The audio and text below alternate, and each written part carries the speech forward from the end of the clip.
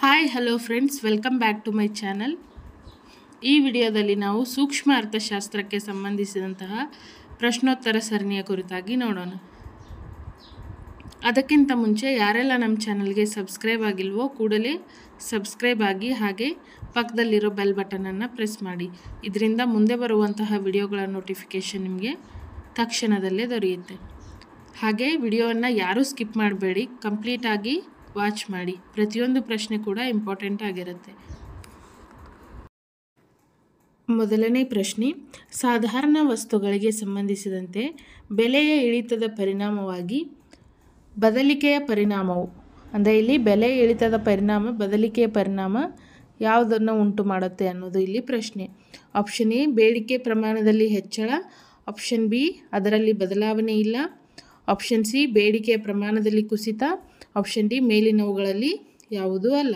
ಇಲ್ಲಿ ಬೆಲೆಯ ಇಳಿತದ ಪರಿಣಾಮವಾಗಿ ಬೇಡಿಕೆಯ ಪ್ರಮಾಣದಲ್ಲಿ ಹೆಚ್ಚಳ ಉಂಟಾಗತ್ತೆ. ಯಾವುದೇ ಒಂದು ವಸ್ತುವಿನ ಬೆಲೆ ಕಡಿಮೆ ಆದಾಗ ಅದರ ಬೇಡಿಕೆಯಲ್ಲಿ ಅಧಿಕ ಆಗುತ್ತೆ. ಹಾಗಾಗಿ ಇಲ್ಲಿ ಆಪ್ಷನ್ ಎ ಸರಿಯಾದ ಉತ್ತರ ಆಗಿದೆ.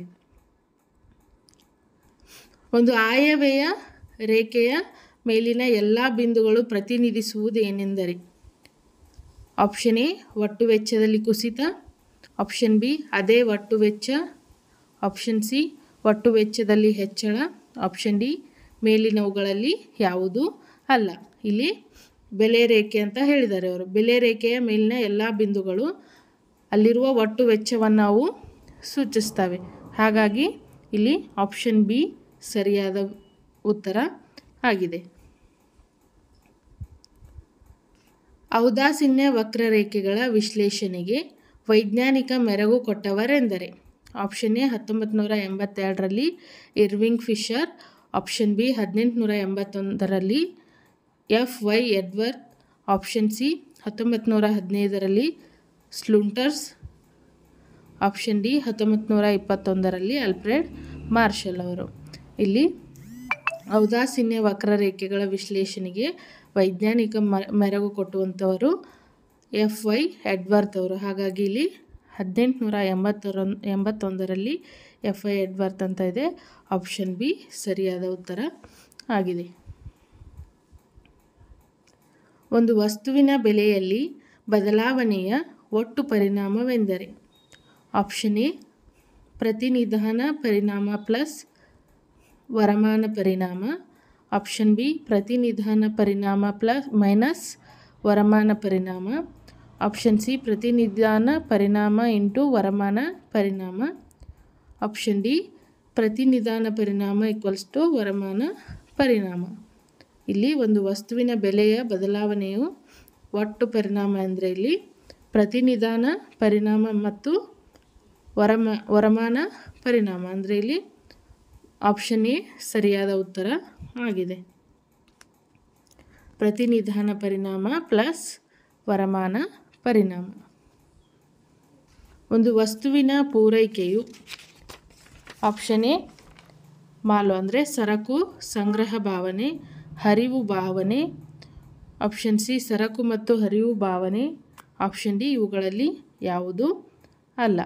ಇಲ್ಲಿ ಒಂದು ವಸ್ತುವಿನ ಪೂರೈಕೆ ಅಂದರೆ ಅದು ಹರಿವು ಭಾವನೆ. ಹಾಗಾಗಿ ಇಲ್ಲಿ ಆಪ್ಷನ್ ಬಿ ಸರಿಯಾದ ಉತ್ತರ ಆಗಿದೆ. ನಾವು ಏನು ದಾಸ್ತಾನು ಮತ್ತು ಹರಿವು ಅಂತ ನೋಡ್ತೀವಲ್ಲ, ಅದರಲ್ಲಿ ಈ ಪಾಯಿಂಟ್ ಬರುತ್ತೆ.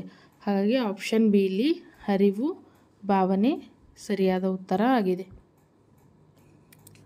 ಪೂರೈಕೆಯ ಸ್ಥಿತಿಸ್ಥಾಪಕತ್ವ ಎಂದರೆ ಕೆಳಗಿನ ದರ ಬದಲಾವಣೆಯಿಂದಾಗಿ ಪೂರೈಕೆಯ ಬದಲಾವಣೆ. ಆಪ್ಷನ್ ಎ, ಒಂದು ವಸ್ತುವಿನ ಬೆಲೆ. ಆಪ್ಷನ್ ಬಿ ಪೂರೈಕೆಯ ಸ್ಥಿತಿಗತಿಗಳು. ಆಪ್ಷನ್ ಸಿ, ಅನುಭೋಗಿಯ ಅಭಿರುಚಿಯಿಂದಾಗಿ. ಆಪ್ಷನ್ ಡಿ, ವಸ್ತುವಿನ ಬೇಡಿಕೆಯಿಂದಾಗಿ. ಇಲ್ಲಿ ಪೂರೈಕೆ ಸ್ಥಿತಿಸ್ಥಾಪಕತ್ವ ಎಂದರೆ ಅದು ಒಂದು ವಸ್ತುವಿನ ಬೆಲೆ, ಬೆಲೆಯಿಂದ ಪೂರೈಕೆಯ ಬದಲಾವಣೆಯನ್ನು ಸೂಚಿಸುತ್ತೆ. ಹಾಗಾಗಿ ಇಲ್ಲಿ ಆಪ್ಷನ್ ಎ ಸರಿಯಾದ ಉತ್ತರ ಆಗಿದೆ.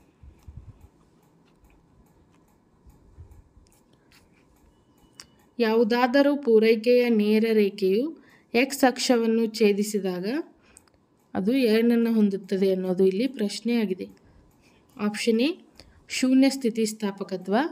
ಆಪ್ಷನ್ ಬಿ ಒಂದಕ್ಕಿಂತ ಹೆಚ್ಚಿನ ಸ್ಥಿತಿಸ್ಥಾಪಕತ್ವ. ಆಪ್ಷನ್ ಸಿ ಪೂರೈಕೆಯ ಸಮಸ್ಥಿತಿಸ್ಥಾಪಕತ್ವ.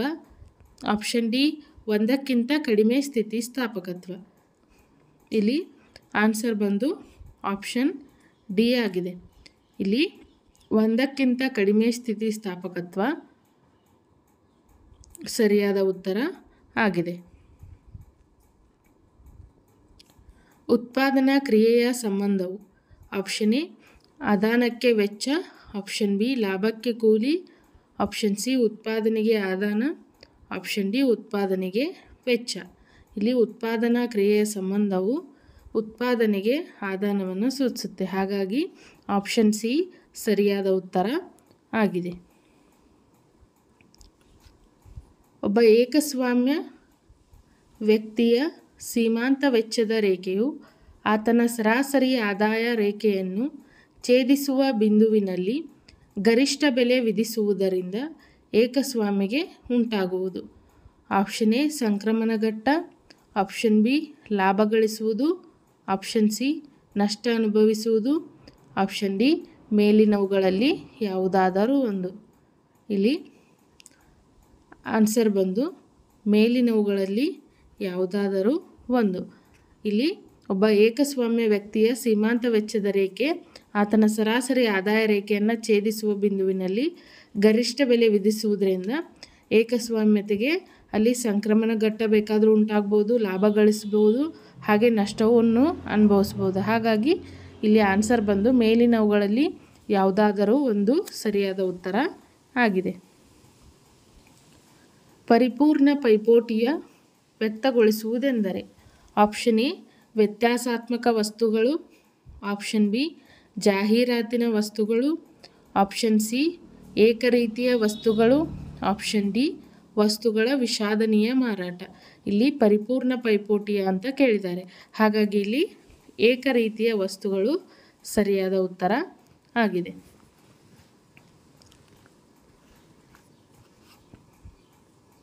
ಯಾವುದು ಪೈಪೋಟಿ ಮಾರುಕಟ್ಟೆಯನ್ನು ವಿವರಿಸುತ್ತದೆ? ಆಪ್ಷನ್ ಎ, ಕೊಳ್ಳುವವರು ಅನೇಕರು ಮತ್ತು ಮಾರುವವರು ಅನೇಕರು.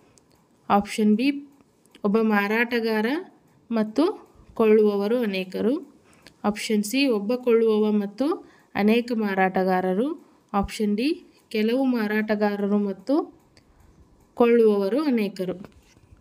ಇಲ್ಲಿ ಆನ್ಸರ್ ಬಂದು ಅವರು ಪೈಪೋಟಿ ಮಾರುಕಟ್ಟೆ ಅಂತ ಕೇಳಿದ್ದಾರೆ. ಹಾಗಾಗಿ ಇಲ್ಲಿ ಕೊಳ್ಳುವವರು ಅನೇಕರು ಮತ್ತು ಮಾರುವವರು ಅನೇಕರು. ಅಂದರೆ ಇಲ್ಲಿ ಕೊಳ್ಳುವವರು ಹೆಚ್ಚಿನ ಸಂಖ್ಯೆಯಲ್ಲಿ ಇರ್ತಾರೆ ಹಾಗೆ ಮಾರುವವರು ಕೂಡ ಹೆಚ್ಚಿನ ಸಂಖ್ಯೆಯಲ್ಲಿ ಇರ್ತಾರೆ. ಅದನ್ನು ಪೈಪೋಟಿ ಮಾರುಕಟ್ಟೆ ಅಂತ ನಾವು ಕರಿತೀವಿ. ಹಾಗಾಗಿ ಇಲ್ಲಿ ಆಪ್ಷನ್ ಎ ಸರಿಯಾದ ಉತ್ತರ ಆಗಿದೆ. ಸಮತೋಲನ ಸ್ಥಿತಿಯಲ್ಲಿರುವ ಒಂದು ಘಟಕವು ಗರಿಷ್ಠಗೊಳಿಸುವುದೆಂದರೆ, ಅಲ್ಲಿ ಸಮತೋಲನ ಸ್ಥಿತಿಯಲ್ಲಿರುವ ಒಂದು ಘಟಕದ ಬಗ್ಗೆ ಪ್ರಶ್ನೆ ಕೇಳಿದ್ದಾರೆ ಆಪ್ಷನ್ ಎ ಉತ್ಪಾದನೆ ಆಪ್ಷನ್ ಬಿ ಲಾಭ ಆಪ್ಷನ್ ಸಿ ಮಾರಾಟ ಆಪ್ಷನ್ ಡಿ ಮೇಲಿನ ಯಾವುದೂ ಅಲ್ಲ.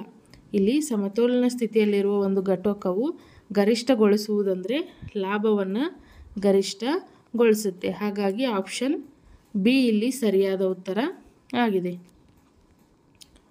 ಗೇಣಿಯ ಸಿದ್ಧಾಂತದ ಅಭ್ಯಾಸವು. ಆಪ್ಷನ್ ಎ, ಒಪ್ಪಂದದ ಗೇಣಿ ಆಪ್ಷನ್ ಬಿ, ಆರ್ಥಿಕ ಮತ್ತು ಒಪ್ಪಂದದ ಗೇಣಿ ಆಪ್ಷನ್ ಸಿ, ಇವುಗಳಲ್ಲಿ ಯಾವುದೂ ಅಲ್ಲ. ಆಪ್ಷನ್ ಡಿ, ಆರ್ಥಿಕ ಗೇಣಿ ಗೇಣಿ ಸಿದ್ಧಾಂತದ ಅಭ್ಯಾಸವು ಆರ್ಥಿಕ ಗೇಣಿಯ ಕುರಿತು ಹೇಳುತ್ತೆ. ಹಾಗಾಗಿ ಆಪ್ಷನ್ ಡಿ ಇಲ್ಲಿ ಸರಿಯಾದ ಉತ್ತರ ಆಗಿದೆ.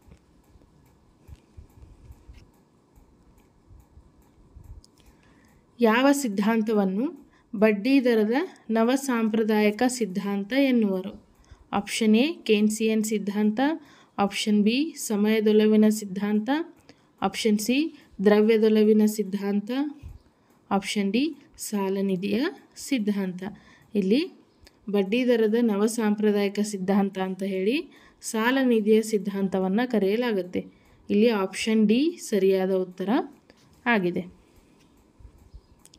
ನೈಟ್ ರವರ ಪ್ರಕಾರ. ಆಪ್ಷನ್ ಎ, ಲಾಭವು ಗಂಡಾತರಕ್ಕೆ ಕೊಡುವ ಪ್ರತಿಫಲ. ಆಪ್ಷನ್ ಬಿ, ಲಾಭವು ಅಧಿಕಕ್ಕೆ ಕೊಡುವ ಪ್ರತಿಫಲ. ಆಪ್ಷನ್ ಸಿ, ಲಾಭವು ಅನಿಶ್ಚಿತತೆಗೆ ಕೊಡುವ ಪ್ರತಿಫಲ. ಆಪ್ಷನ್ ಡಿ, ಲಾಭವು ಉತ್ಪಾದನೆಗೆ ವೆಚ್ಚಕ್ಕಿಂತ ಹೆಚ್ಚಾಗಿರುವ ಬೆಲೆ. ಇಲ್ಲಿ ನೈಟ್ ಅವರ ಪ್ರಕಾರ ಲಾಭವು ಅನಿಶ್ಚಿತತೆಗೆ ಕೊಡುವ ಪ್ರತಿಫಲ ಆಗಿರುತ್ತೆ. ಹಾಗಾಗಿ ಇಲ್ಲಿ ಆಪ್ಷನ್ ಸಿ ಸರಿಯಾದ ಉತ್ತರ ಆಗಿದೆ. ಯಾವಾಗ ಸರಕಿನ ಬೆಲೆ ಹೆಚ್ಚಾಗುತ್ತದೆಯೋ ಅದರ ಬೇಡಿಕೆಯ ಪ್ರಮಾಣವು ಹೆಚ್ಚಾಗುತ್ತದೆ. ಯಾವಾಗ ಸರಕಿನ ಬೆಲೆ ಕಡಿಮೆಯಾಗುತ್ತದೆಯೋ ಅದರ ಬೇಡಿಕೆ ಪ್ರಮಾಣವು ಕಡಿಮೆಯಾಗುತ್ತದೆ. ಇದು ಯಾವುದರ ನಿದರ್ಶನವಾಗಿದೆ? ಆಪ್ಷನ್ ಎ ಕೆಳದರ್ಜೆಯ ವಸ್ತುಗಳು. ಆಪ್ಷನ್ ಬಿ, ನೇರ ಪ್ರಮಾಣಾನುಗುಣ ಸಂಬಂಧ ಹೊಂದಿದೆ. ಆಪ್ಷನ್ ಸಿ, ವಿಲೋಮ ಸಂಬಂಧ ಹೊಂದಿದೆ. ಆಪ್ಷನ್ ಡಿ, ಧನಾತ್ಮಕ ಸಂಬಂಧ ಹೊಂದಿದೆ. ಇಲ್ಲಿ ಬೆಲೆ ಹೆಚ್ಚಾದಾಗ ಬೇಡಿಕೆ ಕೂಡ ಹೆಚ್ಚಾಗುತ್ತೆ. ಬೆಲೆ ಕಡಿಮೆ ಆದಾಗ ಬೇಡಿಕೆ ಕಡಿಮೆ ಆಗುತ್ತೆ ಅಂದರೆ ಇಲ್ಲಿ ಅದು ನೇರ ಪ್ರಮಾಣಾನುಗುಣ ಸಂಬಂಧ ಹೊಂದಿರುತ್ತೆ. ಹಾಗಾಗಿ ಆಪ್ಷನ್ ಬಿ ಇಲ್ಲಿ ಸರಿಯಾದ ಉತ್ತರ ಆಗಿದೆ. ಎರಡೂ ವಸ್ತುಗಳ ಒಂದಕ್ಕೊಂದು ಪೂರಕ ಸರಕುಗಳಾದರೆ ಸರಕೊಂದರ ಬೆಲೆಯಲ್ಲಿ ಉಂಟಾಗುವ ಹೆಚ್ಚಳವು ಮತ್ತೊಂದು ಸರಕಿನ ಬೇಡಿಕೆಯ ಮೇಲೆ ಹೇಗೆ ಪ್ರಭಾವ ಬೀರುತ್ತದೆ ಎಂದರೆ, ಆಪ್ಷನ್ ಎ ವಿಲೋಮವಾಗಿ, ಆಪ್ಷನ್ ಬಿ ಬೇಡಿಕೆಯ ರೇಖೆಯನ್ನು ಸ್ಥಳಾಂತರಿಸುತ್ತದೆ, ಆಪ್ಷನ್ ಸಿ ಧನಾತ್ಮಕವಾಗಿ, ಆಪ್ಷನ್ ಡಿ ಬೇಡಿಕೆಯ ರೇಖೆಯು ಪ್ರಭಾವಿತಗೊಳ್ಳುವುದಿಲ್ಲ. ಇಲ್ಲಿ ಎರಡು ವಸ್ತುಗಳ ಒಂದಕ್ಕೊಂದು ಪೂರಕ ಸರಕುಗಳಾದರೆ ಸರಕೊಂದರ ಬೆಲೆಯಲ್ಲಿ ಉಂಟಾಗುವ ಹೆಚ್ಚಳವು ಮತ್ತೊಂದು ಬೇಡಿಕೆಯ ಮೇಲೆ ಧನಾತ್ಮಕ ಪರಿಣಾಮವನ್ನು ಬೀರುತ್ತೆ. ಹಾಗಾಗಿ ಇಲ್ಲಿ ಆಪ್ಷನ್ ಸಿ ಸರಿಯಾದ ಉತ್ತರ ಆಗಿದೆ. ಆದಾಯ ಬೇಡಿಕೆ ಸ್ವರೂಪ ಹೀಗಿರಬಲ್ಲದು.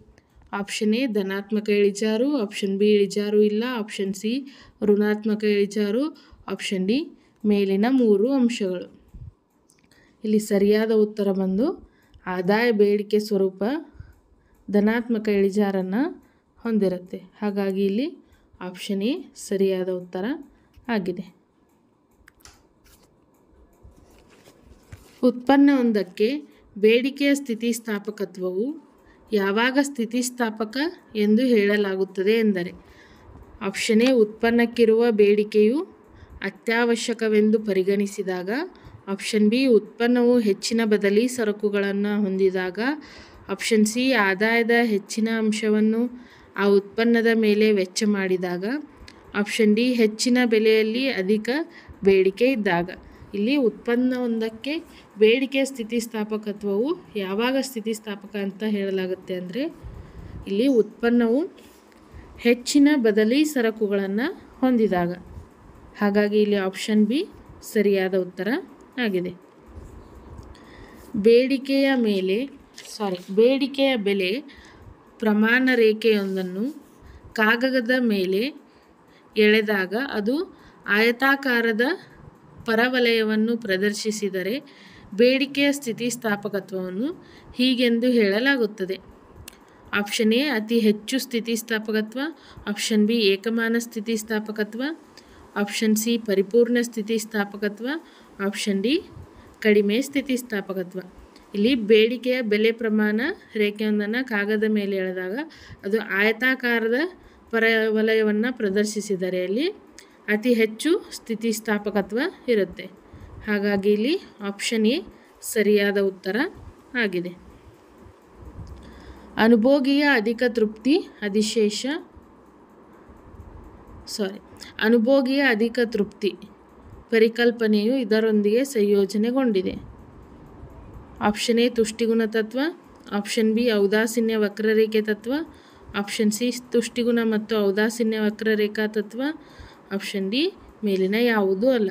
ಇಲ್ಲಿ ಅನುಭೋಗಿಯ ಅಧಿಕ ತೃಪ್ತಿ ಪರಿಕಲ್ಪನೆ ಸಂಯೋಜನೆಗೊಂಡಿರೋದು ತುಷ್ಟಿಗುಣ ಮತ್ತು ಔದಾಸೀನ್ಯ ವಕ್ರರೇಖಾ ತತ್ವ. ಹಾಗಾಗಿ ಇಲ್ಲಿ ಆಪ್ಷನ್ ಸಿ ಸರಿಯಾದ ಉತ್ತರ ಆಗಿದೆ. ಇದೇ ರೀತಿ ಎಲ್ಲ ವಿಡಿಯೋಗಳನ್ನು ವೀಕ್ಷಿಸ್ತಾ ಇರಿ. ಹಾಗೆ ಮರೀದೆ ನಮ್ಮ ಚಾನಲ್ಗೆ ಸಬ್ಸ್ಕ್ರೈಬ್ ಆಗಿ. Thank you for watching